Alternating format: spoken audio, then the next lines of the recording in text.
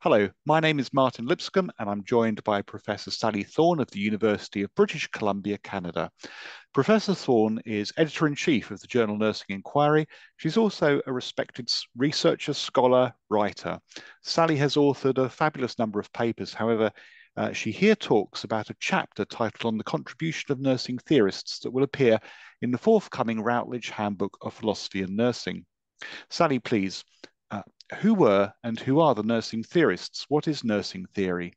What factors influence the form that it took and what role and place does this theory occupy in nursing's professional history? That is, how and why did it develop? And lastly, the million dollar question, what next for nursing theory?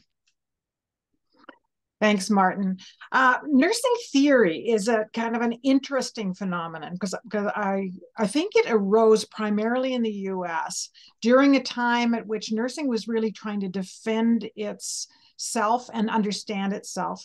And I've just actually read an interesting chapter in a, a pre-publication book by Marsha Fowler who's, who's proposing that uh, in the UK, that idea of nursing as a calling or a profession was really dominant at that time, partly because nurses weren't in nursing education wasn't in universities at that time.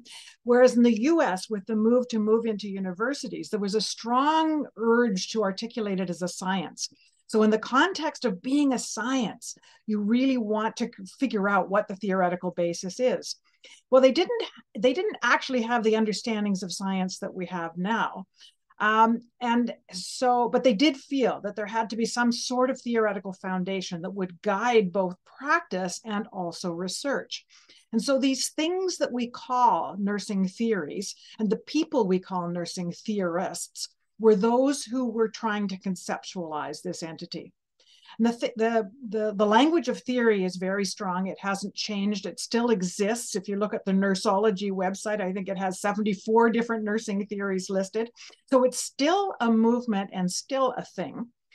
Uh, but my view of it is that it probably, in hindsight, had there had there been an understanding that there were alternatives, might have been better articulated as something in the domain of philosophy trying to conceptualize how do you think about an entity such as nursing that is so diverse and specific in all of our parts of the world and all of our forms of practice, all of the different things that nurses do, and yet has a unifying core. And it's trying to articulate what that unifying core would be and how we would develop it theoretically. So a lot of effort was placed um, one of the reasons it kept going, I think, was that there was definitely an interest in taking nursing education out of being a subset of medical education, or that the medical schools in the universities felt that they should have control over curriculum that might not have by the time uk got nursing into the universities that might not have been an issue but it certainly was in north america. I'm in canada as well. Uh, but, but, medical schools and physicians in universities did not take easily to the idea of a curriculum developed on the basis of a nursing theory. So it did become a really useful avenue to own what it is we teach the young ones um, and it was perhaps less successful in owning what we do in practice.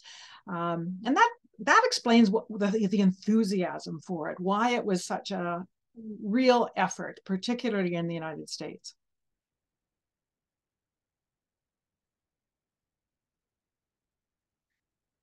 You're muted. I'm. I think you're muted, Martin. Well, that was very silly, wasn't it? Um, quite a few questions jump to mind. Um, for example, given the huge efforts that went into developing and also disseminating nursing theories, I wonder whether ultimately that effort was worth it. However, uh, let me make uh, an observation and invite you to respond. Anecdotally, subjectively, I don't think nursing theorists today receive the attention in the UK that they continue to get in the United States and perhaps Canada. Now, if my subjective impression is correct, what, if any, difference um, does this tell us about the way nursing is developing across the globe? Might this difference suggest that the UK and possibly European nursing is diverging in important ways from North American nursing? Yeah, I think it's probably fair to say that um, UK may not have seen the the urgency that the United States would have felt for articulating a theoretical foundation that was common across nursing. Um, uh, and and the, the, reasons for that may be caught into professionalizing and regulation and ethics and distinguishing a discipline within universities, which would have happened quite differently in different places. The other the other feature, though, I think that is that that UK and certainly uh, parts of Europe um, had a much stronger and earlier sense of a philosophical tradition in nursing.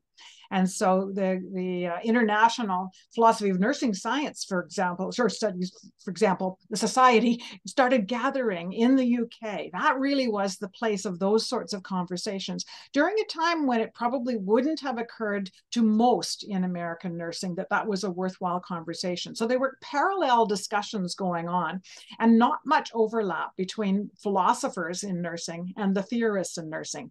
They were very different discussions. It's fun to imagine what would have happened if you could have got them into a room all together and they could have discussed it. June Kikuchi, for a period of time in the 90s, tried to gather uh, different thinkers together and have these conversations. They were sometimes successful, sometimes not. But that's the only place that I was aware of that really, really did think about bringing theorists and philosophers together. What they didn't really do, though, they really focused on the, the task at hand, which was to conceptualize and define nursing, not really to look back at what's the social and political context in our different nations in which this urgency to define and conceptualize nursing occurs. I think their mm. tunnel vision was healthcare and education, not the larger social context. So frankly, I don't think it's a problem that UK never, didn't take up the theorists in quite the same way. They didn't have a need to, and they probably didn't see the relevance. And by the time they did, they may have noticed there were a lot of bun fights going on between theorists. Whose was going to dominate? Whose was the better theory? And uh, unfortunately, the nursing theory movement did deteriorate a little bit into a tug of war as to which groups of theorists would would dominate and uh, uh, that was sort of sufficiently unseemly that many nurses and many nurse academics just stopped reading in that domain. Mm. It's interesting that you make a distinction there between the nursing theorists and people who um, are interested in philosophy, because of course the theorists would, or some of them at least, claim that they're doing philosophy, albeit of a, of a particular type. Um, yes, yeah. Um, okay, again, I, I, would I would actually say that some of them were doing philosophy in to the extent that they they could most of them were not formally trained philosophers and it wouldn't have occurred to them since they were trying to build science they would not have occurred to them that formal philosophical inquiry was was useful. But when we look at the theories you know, I've been I've been a little critical of them, but also when we go back and look at those theories, we do see evidence of some real deep philosophizing in the in the sense of trying to untangle some very very difficult intellectual complexities that pertain to the thing that we would call nursing. Would you link that in any way to the interest that nurses have in qualitative research? This untangling that you speak of. Would you make a connection there, or is that um, an unfair connection? I, I don't think it, it's necessarily a useful connection, but certainly okay. the theorists may have pointed people in the direction of understanding that they were concerned about holism, for example, mm. rather than parts. That that simple measure, measurement of something was not necessarily going to um, allow us to think about it in the complex and multifaceted way that nursing needed to think about it. So I do think that there probably was a contribution of the theory, the theory movement to uh, getting nurses enthusiastic about complexity. And qualitative methods, of course, are more suited to wrestling with complexity than were quantitative methods at the time. Now, some of my quantitative colleagues who are uh, have very large brain cells are really wrestling with complexity in, in measurement now. But i think for a long period of time uh, qualitative research was an alternative to the forms of research available that seemed to be objectifying and reducing in a way that was inconsistent with that conceptualization of this profession. Okay but, but you, in essence you think the connection i was just beginning to to draw there between nursing's interesting qualitative and the theorists is is an unfair one. Well, I, think I think it it the the theory um, the theorizing probably laid the foundation for people, nurses seeing more quickly why okay. they would want qualitative methods. And I do believe nurses uh, took up methodology and methodological applications in qualitative research decades before some of their colleagues in other health disciplines for this reason. Hmm. Because there was a mismatch between research techniques that were available and the questions that these theories were telling us were interesting to the discipline. Okay. okay. Sally, again, really interesting. Thank you for your time. It's always nice to chat. And for people who um, want to learn more, links to Professor Thorne's work and the Routledge Handbook of Philosophy and Nursing are provided in the notes. Um, Sally, nice to talk to you. Cheerio. Thanks so much.